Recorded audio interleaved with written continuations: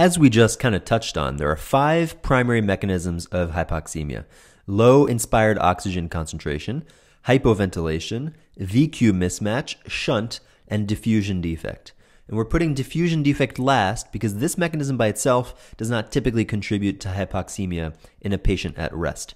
And the reason for that is that the transit time of red blood cells in the pulmonary circulation is long, usually long enough for oxygen diffusion to be complete, even in the presence of a diffusion defect. But during exercise, the heart starts beating a lot more and a lot faster, and as a result, the transit time of red blood cells in the lung goes down. And so there's less time for the red blood cells to come into equilibrium with the alveolar gas. And so in that case, you can get hypoxemia, but not at rest. And as a result, diffusion defect is not usually considered a cause of acute hypoxemic respiratory failure in the ICU.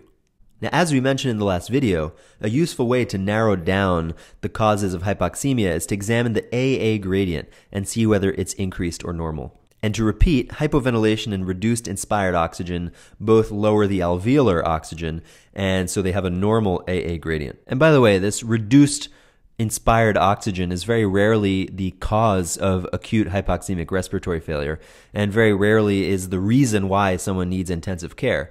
But it can result in the ICU from connecting inspired gas tubing to the wrong gas source.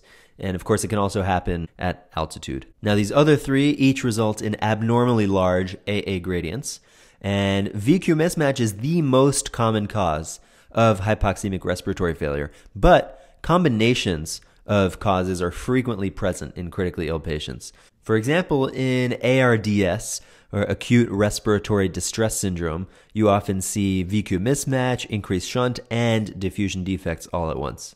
Now, another thing that distinguishes all these causes of hypoxemia is how they respond to supplemental oxygen.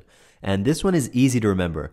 All of them except shunt should improve significantly with supplemental oxygen, whereas with a shunt, you'll see either a small improvement or no improvement at all.